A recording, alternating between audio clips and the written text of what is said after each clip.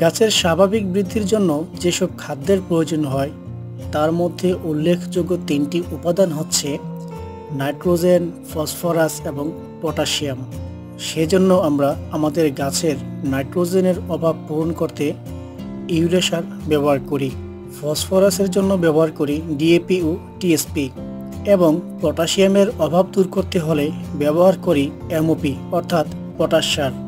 যদি এই তিনটি সার সমপরিমাণে একত্রিত করা হয়, তাহলে বলা হয় এনপিকে সার। উল্লেখযোগ্য এই তিনটি উপাদান থেকে যদি একটি উপাদান বাদ দেওয়া হয়, তাহলে গাছ বেঁচে থাকতে পারে না। বাজারে যেসব এনপিকে সার পাওয়া যায়, সেগুলো হচ্ছে রাসায়নিক সার, যা পরিবেশ বান্ধব নয়। আমরা যখন ছাদ বাগান করি, সেখানে অল্প পরিমাণে ফুল, ফল এবং সবজি উৎপাদন করতে পারি। এর জন্য অবশ্যই চাইব যেন সম্পূর্ণ বিষমুক্ত ফসল আমরা সংগ্রহ করতে পারি। তাই আজকে আমরা কীভাবে এই জৈব এনপিকে সার তৈরি করে আমাদের শখের বাগানের গাছপালায় প্রয়োগ করতে পারি সেটি আজ আমরা দেখব। এখানে আমি নাইট্রোজেনের জন্য নিয়েছি চা পাতা। আমরা প্রতিদিন চা পান করার পরে যে উচ্ছিষ্ট অংশ থাকে সেটাকে ভালো করে ধুয়ে আমি রোদ্রে শুকিয়ে নিয়েছি। এতে বেশ পরিমাণ নাইট্রোজেন এবং অল্প কিছু পটাশিয়াম অবশিষ্ট থাকে। তাই একে আমরা নাইট্রোজেন বা ইউরিয়া সারের পরিবর্তে ব্যবহার করতে পারি। তারপর এখানে নিয়েছি ডিমের খোসা।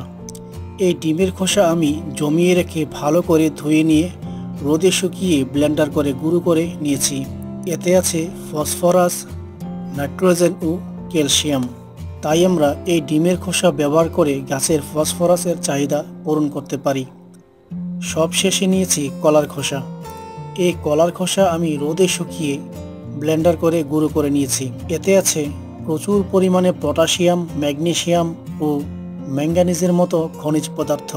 কাজেই আমরা এই কলার খোসাকে পটাশ সারের পরিবর্তে ব্যবহার করতে পারি।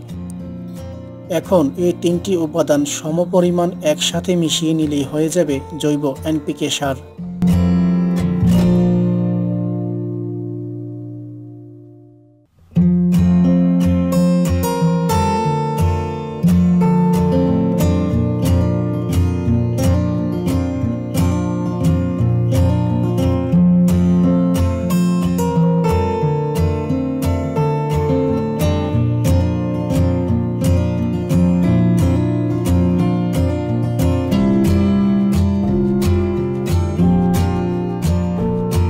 এই এনপিকে সার দশ থেকে বারো ইঞ্চি টবের জন্য পাঁচ থেকে দশ চামচ পর্যন্ত আমরা পনেরো থেকে বিশ দিন পর পর প্রয়োগ করতে পারব।